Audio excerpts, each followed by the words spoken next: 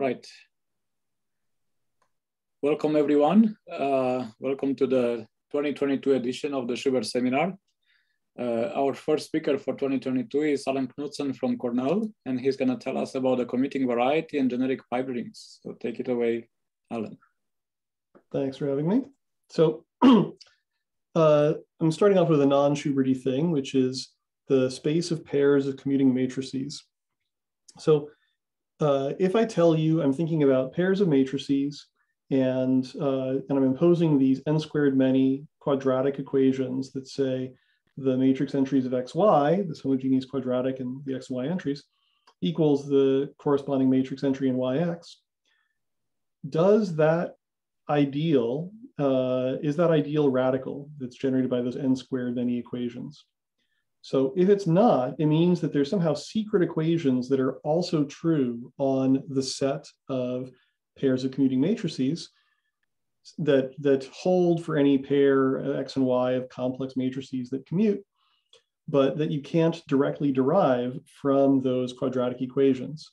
And that might sound crazy, but let's start with a simpler example. What if I told you about matrices that square to zero? And you say, well, matrices who square to zero are nilpotent. If they're nilpotent, all the eigenvalues are zero. If the eigenvalues are zero, then the trace is zero. And in the process of saying such things, you've derived this linear equation, trace of m equals zero. You've derived, derived it from these homogeneous quadratic equations. And that's not possible without taking a square root somewhere. And you really notice it if you think about the one by one case, where I tell you I've got a number whose square is zero. Can you derive from that that the number is zero? And if it's a complex number, sure. But if you're trying to do algebraic geometry where you might be running into nilpotents and stuff, then you're not supposed to be able to derive that directly. So nobody knows whether uh, there are secret equations on the space of pairs of commuting matrices. Uh, you can check it for small sizes, like uh, up to four by four easily enough, um, using, um, uh, you, you, can say, uh, does I uh, double equal radical of I in Macaulay 2? And find out that, uh, that it's fine, there aren't secret equations, but that doesn't tell you for all n by n. So I was uh, brought to, this question was brought to my attention uh, like 15 years ago, um, a little bit more, and I, um, and I said, well, I have some tricks that might be able to get a hold of this. So the usual trick people think about is to say we have a GLN action on this space we could conjugate x to be in uh, Jordan canonical form. And then y commutes with that. Does that help us? Well, it's pretty gross figuring out what commutes with somebody in Jordan canonical form. But even if you did that, you'd still somehow be thinking about the set of pairs, not thinking about the ideals. Anyway, so I said, let's degenerate this guy. Let's take these quadratic equations and degenerate them maybe not all the way to monomial equations, but to something simpler. And so I said, let's introduce this diagonal matrix. It's got powers of t down the diagonal. And I'm going to use the um, this linear change of coordinates where I take my matrix X and I right multiply by the diagonal matrix and my matrix Y and I left multiply by the inverse. And then instead of the equation XY equals YX, I get this equation here, x prime y prime. It's not equal to y prime x prime on the nose, it's that conjugated by this diagonal matrix. So for any non-zero value of t, I've got this scheme here, which is isomorphic to the original commuting scheme, isomorphic by this stupid linear change of variables. And I uh, had at this point gotten used to, uh, as I say, this was 15, 20 years ago, gotten used to thinking about the limit as t goes to zero and see what happens to the equation and hopefully see what happens to the scheme. Now, you can't just say the limit of the equations will define the limit scheme. Uh, this is a Grobner basis uh, statement you're making. It's like if I have two planes and they intersect on a line, and I take the limit of those planes and they fall on top of each other, then the limiting planes don't intersect in the limiting line. They intersect in a plane. So I'm not guaranteeing that I'm not making any claim right now that when I take the limit of these n squared many quadratic equations, the limit as t goes to zero here, I'm not claiming that I'm necessarily getting the actual limit of the commuting scheme. I might be getting something accidentally bigger, like this limiting plane is not the right thing. It contains the limiting line. So nonetheless, let's take the limit of those equations. So there's n squared many equations going on here, and n of them are really easy. The, if you consider, if you compare the diagonal of this guy to the diagonal of that guy, then they're equal on the nose, that conjugating by a diagonal matrix doesn't do anything to the diagonals. So that's what I have over here. And if you think about um, what conjugating by this diagonal matrix with powers of t does in general, it introduces positive powers of t in one triangle of y prime x prime and negative powers in the other triangle. So, uh, and it depends, the, the actual power is t to the i minus j. It depends on which diagonal you're in. So down the main diagonal, it's zero, like I was saying, but in general, you get positive powers in one triangle, negative powers in the other. So where you've got positive powers and you let t go to zero, then that's easy. Your uh, that, that entry vanishes. And instead of saying that a matrix entry of this equals a matrix entry of that, you get a matrix entry of this is zero. So that's what's going on here. But where you have a negative power of t, you might worry your equation's blowing up as t goes to zero. That's fine. You multiply through by the right power of t. And instead of having a negative power of t on one side, you've got a positive power of t on the other side. And you take the limit and you get these other equations. And so I studied, I st stared at these equations, these n squared many new quadratic equations for a while, and noticed that these last ones are almost implied by the previous ones. Because uh, I'm going to stop saying prime all the time. We'll just call them x and y.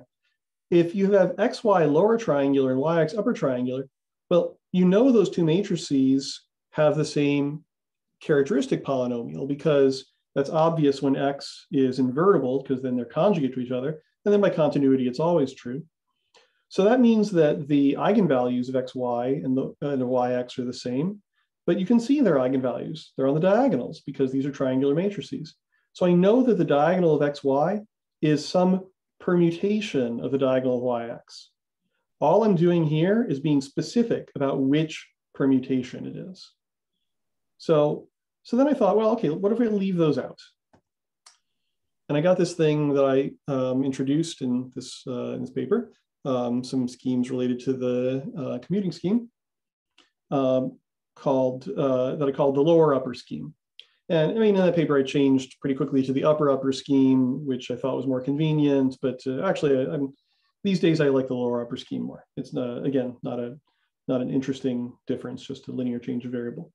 So this is pairs of matrices where I only imposed the first two groups of equations. I didn't say anything about how the diagonals relate. And this doesn't have the GLN action we had before. So remember, I said you can conjugate X, you can conjugate X and Y simultaneously by an element of GLN, and they'll still commute or not. And here you can't do that, but there is an action of this group, which is worse than GLN because it's solvable but better than GLN because it's bigger. It's actually got twice the dimension of torus in it than GLN has. So uh, the action is very simple. I've multiply x on the left and right by my lower and upper triangular matrices, and y on the right and left by their inverses. And if you, multi if you multiply through, you'll get like b minus x, y, b minus inverse. And you see that that is keeping x, y lower triangular like it's supposed to be. So that's why I have this group action. And you can blame this group action on the original GLN that as we're degenerating the scheme, we're also degenerating the group. And actually, that's not quite fair because this guy's better than just the, the degenerate GLN. Uh, you get more group invariance once you're finished degenerating. So anyway, I've got this. And what's particularly nice about this better action in some sense is that I can now take X and not just put it in Jordan canonical form, I can reduce it to a partial permutation matrix. So if it were invertible, you'd say this is the Bruhat decomposition. So I'm doing something like the Bruhat decomposition on matrices instead of on invertible matrices. So if X were invertible, I'd reduce it to a permutation matrix. Of course, that would require K equals N, and I have examples where K isn't N, so I wanted to say it in this generality. but uh, anyway, that lets me reduce X to finitely many possibilities. So that's definitely better than the Jordan canonical form story where I have, you know, continuously many different Jordan canonical forms. And then for each of those finitely many, you can say what are the Ys that are lower upper with, with them. And I used that to index the components of the lower upper scheme and say, for example, when k equals n, that they are exactly indexed by those permutations I spoke of before. So this question, so let me say it this way. If you take this scheme, uh, sorry, uh, if you take this scheme, you leave these equations out. So it's now the um, lower upper scheme, I guess this scheme here, uh, and you ask not just um, that the diagonal of xy is some permutation of diagonal yx, let's ask instead just the diagonal of xy has no repeats. Uh, and so for k less than n, I guess that could happen, uh, xy has no repeats, then uh, that defines an open set. And what I'm telling you is that that open set is dense. So that open set is disconnected. It has one component for every way of matching up the k uh, uh, diagonal entries of xy with some of the n diagonal entries of yx. All the ones you don't match to will be zero. And those uh, are how you index the components of the lower upper scheme. So uh, the other thing I proved about this, other than thinking about its components, I proved in the square case that it's a complete intersection. So it's defined by uh, it's defined by not n squared equations anymore, only n squared minus n, but those are um, dimensionally independent, let's say. They cut the dimension down from 2n squared, where we started when k equals n, or 2nk. They cut the dimension down from 2nk. They cut it down to, uh, um, to the expected dimension. So um, back to k equals n, they cut it down from dimension 2n squared to n squared plus n. And I want to point out that here we started with 2n squared dimensions, and we imposed n squared equations and naively say we get something n squared dimensional, but we don't. We get something n squared plus n dimensional. Uh, sort of obvious, you think x could be diagonal, y could be another diagonal, that's 2n right there. Hit them with an element of gln, um, modulo the diagonals, adds another n squared minus n, total of n squared plus n. So this guy is not a complete intersection, but once you leave out those diagonal equations, then you do get a complete intersection. And complete intersections are really easy to think about from lots of points of view. One thing I get from them in particular is that the degree of a complete intersection uh, by Bezout's theorem is just the product of the degrees of the defining equations. So I've got n squared minus n many defining equations. Uh, each of them is quadratic, so there's the degree. And that's the sum of the degrees of the components. So I was in this weird position at this point in this paper from a long time ago, where I didn't know how to compute these individually. I only knew that each of them is some natural number, positive number. And when I add them all together, that I do know how to compute.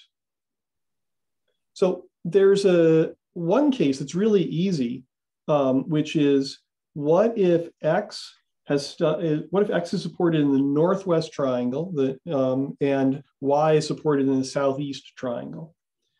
That's linear equations. I'm telling you vanishing uh, entries of x and y. And that gives you uh, kind of the dumbest component of this guy. And linear equations means that the degree of that guy is one. And that it corresponds to the permutation where uh, the diagonal of xy is the reverse of the diagonal of yx. So the easiest case is the one that's maximally far away from the interesting case. So as you know, it as it always works out, right? But uh, um, but I have this thing where I've got an easy case with a one, and I have the hard case that I want, and I have all these other guys, and I add them together, and I get two n squared minus n. Two to the sorry. All right. Um, now for something completely different. Let's consider this Markov chain uh, with, based on the number n. So I've got this natural number n. Uh, the Markov chain has states that are complete matchings of the number 1 through 2n. So that's what these three pictures are. I've, uh, I've got a teeny little 1, 2, 3, 4 around the boundary of this, And in this case, one is matched to two versus matched to three versus matched to four. So it's easy to count these complete matchings. There's 2n minus 1 double factorial of them. And uh, those are going to be the states of this Markov chain invented by De and Nienhuis. So uh, these are uh, mathematical physicists, and they say, let's have these transitions where we spin this wheel of fortune. It goes around and around and around, and maybe it stops here between the one and the two.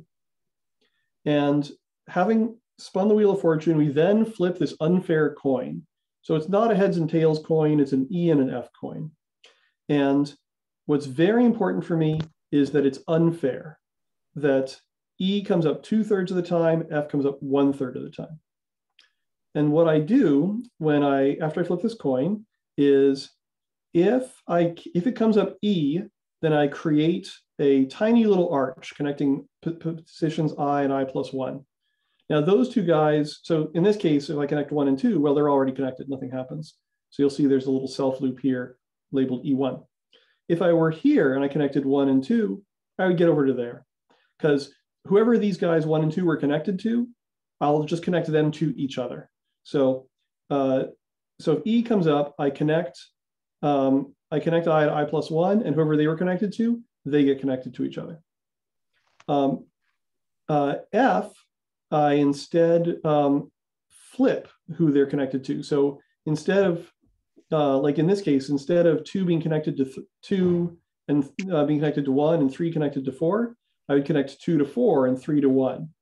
So if my wheel came to here and I got the F, then it would jump me over to there. So that's what this F2 is. So that's the that's the process, the uh, the Markov chain.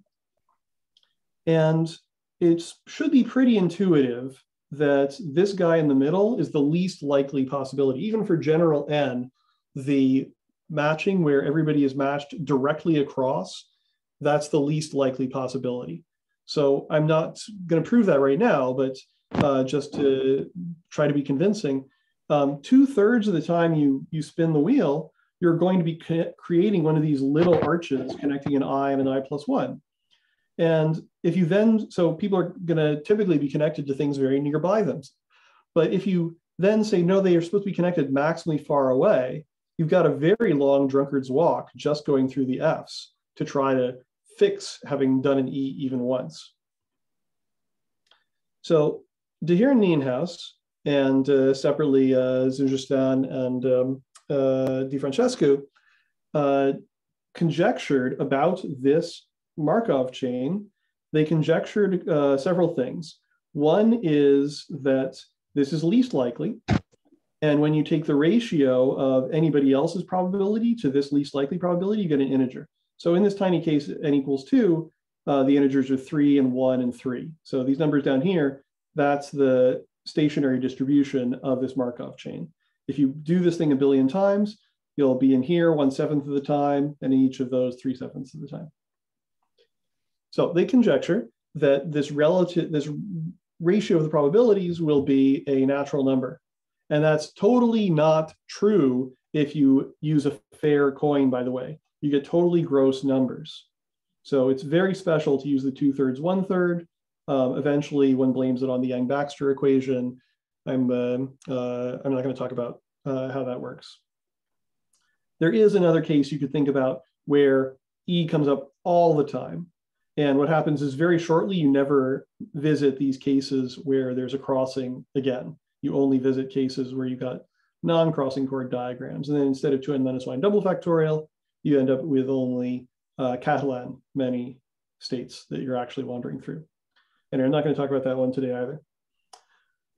So they they compute these numbers, and these numbers are easy to compute by computer for um, for reasonable size n. They I think they went up from one to eight, computing all of these integers, and then they uh, they said let's focus attention not on this case because that's too dumb. That's the least case. Let's focus attention on this case where the left guys connect directly to the right guys. So, um, so here I got three. If we, um, uh, if you ask for each size n, you um, you connect the left guys directly across to the right, and you say what's the what's the relative probability of that one. Then you get the sequence of numbers 1, 3, 31, 11, 45, uh, and so on. They plugged that into the OEIS, and and so the OEIS said those are the degrees of the first four commuting varieties. And the next four numbers that you mentioned, um, uh, I don't recognize them. So they, they put in a sequence of length eight, and the OEIS recognized the first four. And so then they, uh, in the OEIS, it said the degree of this fourth guy, 1145, uh, that was computed by Nolan Wallach in 1993 by lashing the 10 SPARCstations together. And so they contact Nolan Wallach and he says, I have no idea how these things are connected, um, but I did just see this talk by Allen Knutson on the commuting variety. So then they go to my paper and based on finding these numbers in my paper, so remember I was computing the degrees of these e pi's for small n, they came up with a more general conjecture that if you have a, this is what number two here, if you have a chord diagram that's not just connecting you know, your two end guys to each other any old way, but it connects the left end guys to the right end guys in some permutation. So there's n factorial of these bipartite chord diagrams where the left side connects to the right side. Those n factorial, uh, they the probabilities that they're getting um, match the degrees of my varieties, my lower upper varieties. So, uh, so then they contact me and say, yeah, we, uh, we found these numbers in your paper. So uh, what's going on with that? And so it took a, a, couple of years for, uh, for me and one of those four guys, Paul Zinn-Justin, to uh, prove these conjectures and also generalize them in a way I'm not going to talk about today uh, to handle uh, general chord diagrams. So you need something bigger than the lower upper scheme. You need something that has a component, not just for every permutation like the lower upper scheme has, but for every perfect matching. And, um, and Zinn-Justin and I invented such a thing um, uh, and uh, show that the degrees of its components compute these things in general.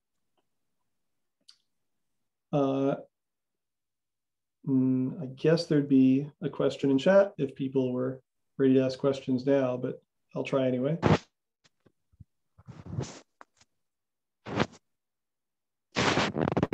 We're good. There are no questions. All right. So um, here's just a bunch of stuff about degrees. Uh, maybe so.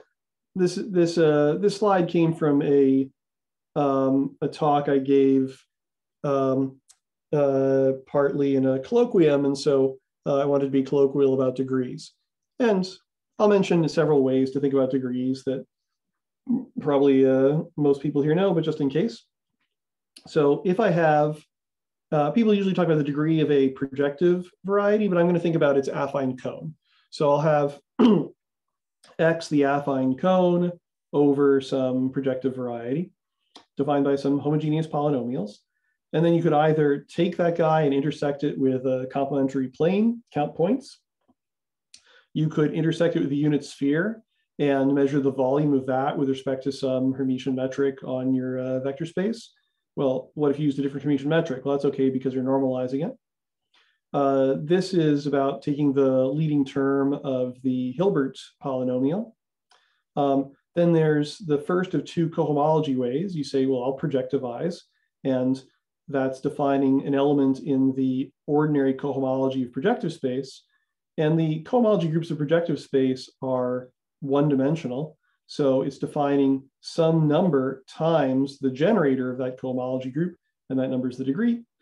And the way I'm actually going to want to deal with it most often is in equivariant cohomology. So I said this guy was invariant under scaling, it's, de, it's a cone, it's defined by homogeneous equations.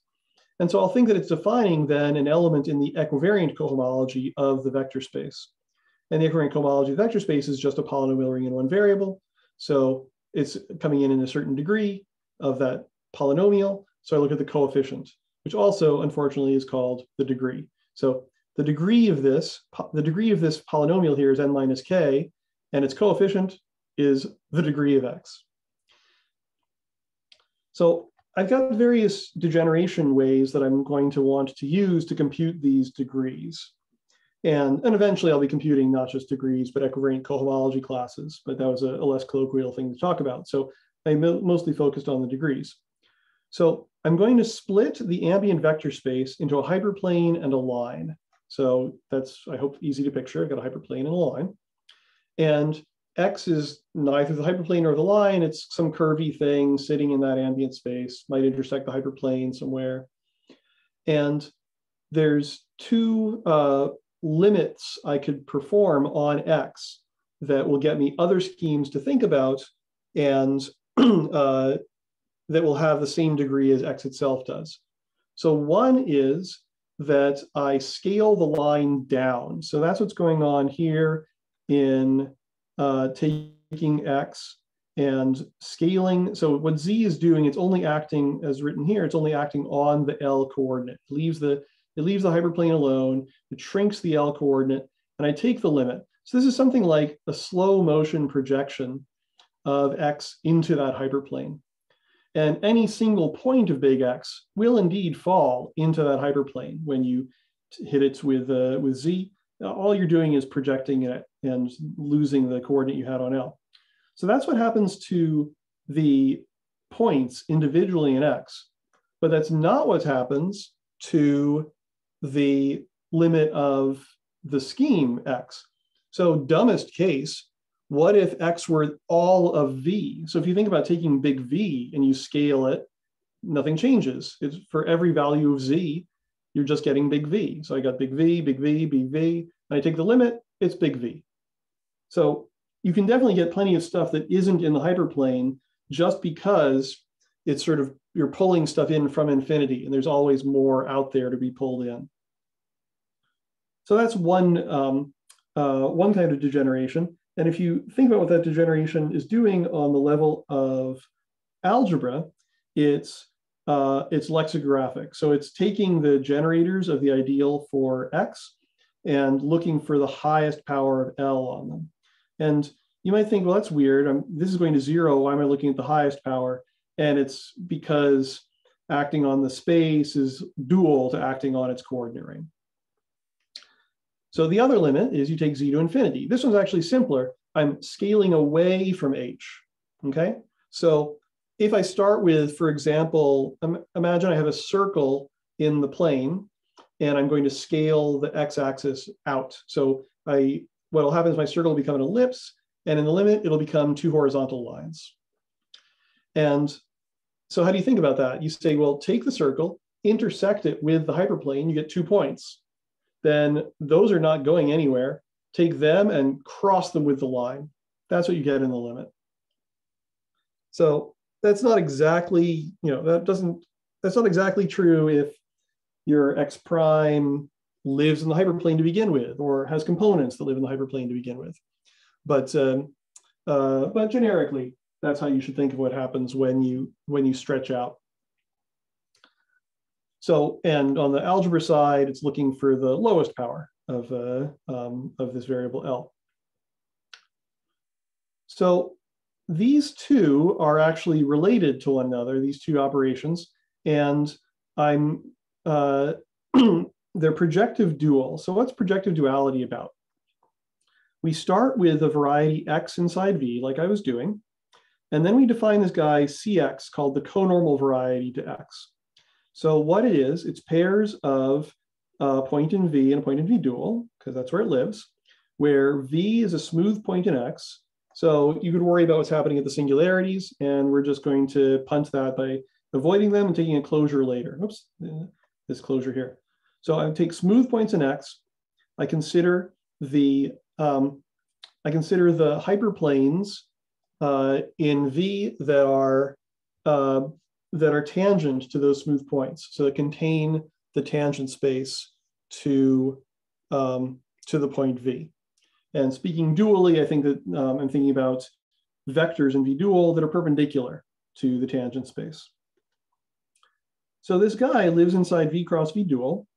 And if you think about V cross V dual as the cotangent bundle to V, then this guy is naturally, the cotangent bundle is naturally symplectic, and this guy will be Lagrangian inside there.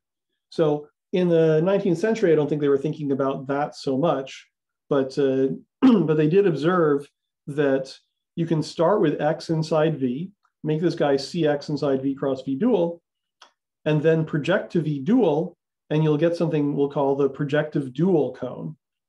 And the fun, and it's dual in the sense that if you repeat this process, you get back to where you started. And there's, it's absolutely terrible trying to relate things about X to things about X perp. Um, uh, like the dimensions, there's a, um, there's, there's no relating the dimensions of the two. Or if X contains Y, then X perp doesn't contain Y perp. There's no, uh, it's, it, it's a very tricky business. But uh, if we've split V into H cross L, we'll therefore split V dual into H dual cross L dual. And scaling L down is like scaling L dual up. So these two notions are projective dual in that sense. If you think about moving X by, um, don't take the limit yet, but just move X using, um, uh, using Z, then you'll be correspondingly moving X perp using Z inverse. And so the, the lex limit of one relates to the rev lex limit of the other. And pretty soon I'm going to be using um, both, to, and I'll be mixing the two of these together. Okay. So what I want to compute is the degrees of the e pi. So remember back in the, the De Gier Nienhuis story, the degrees of the e pi were relevant for computing the, um, the probabilities that you're in one of these states. So I want a formula for the degrees of the e pi, but I'm going to sneak up on them by first thinking about projecting e pi to just the x variables or just the y variables. And we meet these very familiar spaces, matrix Schubert varieties and, uh, and their duals. Um, so uh, I had forgotten about a small break. Um, this is a great time. Thank you very much. Um, any questions before the break?